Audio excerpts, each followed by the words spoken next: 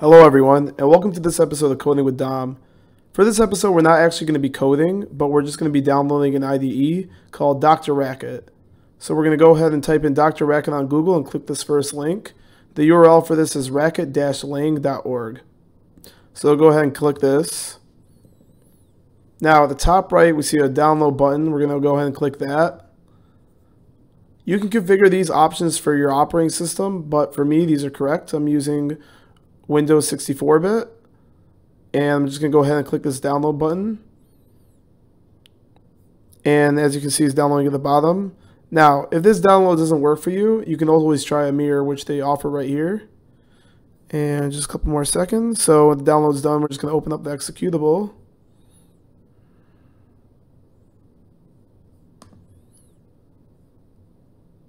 Okay, now then the setup appears. So we're going to go ahead and click next on that.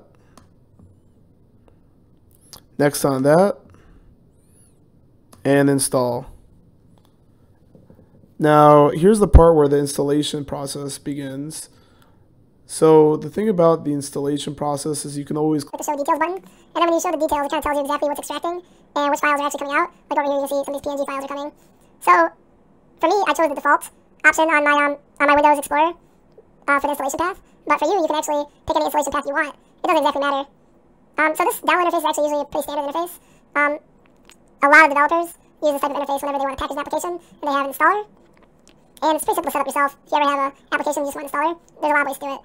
You'll see here, you know, it looks really nice. They have the, the logo in the top right corner, you know, they're showing all the results as they come in. It's honestly not that bad at all. Even has like a nice little message over here, gives you the title installing. And over here is kind of like a sub message. Please wait while Racket version 7.6, and then in parentheses, x86 underscore 64 is being installed. You know?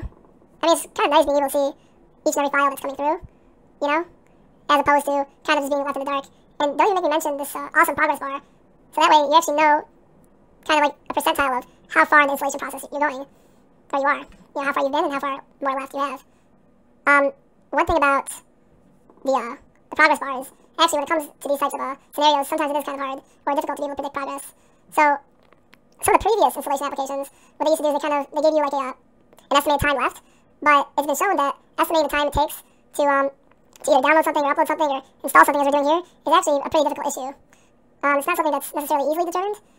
It is possible though. Um, yeah, so it definitely looks like there are a lot of files out here to extract, but um, in order to show my case a little bit more, you can see how sometimes in the installation pro process, the progress bar appears to be going faster or going slower. So like I said, it is actually kind of a difficult problem to estimate progress when it comes to, for instance, a file download, a file upload, or in this case, installer.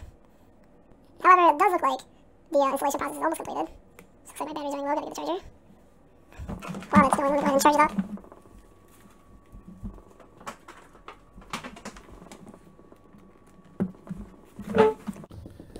And it looks like Racket has been installed. Okay, so we're just going to go ahead and hit the finish button. So now we have Dr. Racket open. So just a quick intro. Over here, this is the definitions window. And over here, this is the interactions window.